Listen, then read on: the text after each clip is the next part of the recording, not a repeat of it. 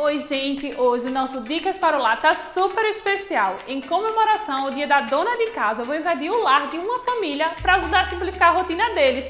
Vamos fazer isso comigo? Olá! Oi, tudo bom?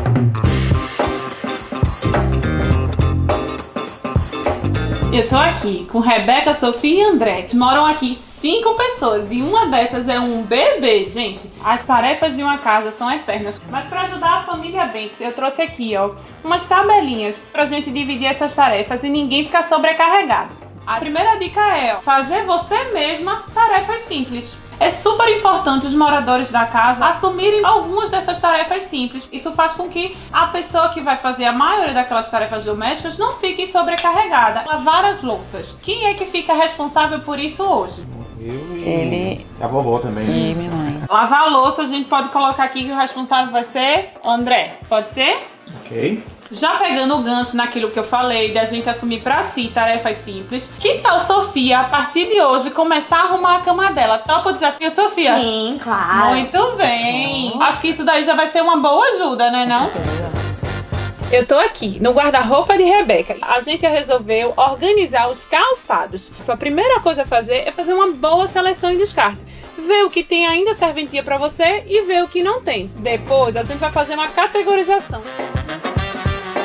A gente organizou um pé na frente do outro, por tipo e por cor. Então aqui a gente tem os metalizados, parte dos pretos, tem aqui uma continuação dos pretos. E aqui, ó, nós temos os escarpãs.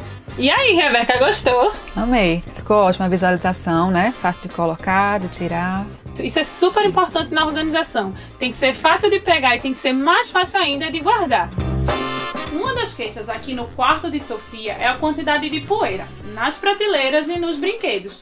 Mas a gente vai resolver isso com caixinhas transparentes. Assim também vai ficar bem mais fácil para Sofia brincar, né não, Sofia? Vai ficar muito melhor. E isso também vai ajudar a mamãe e o papai a limparem essa prateleira.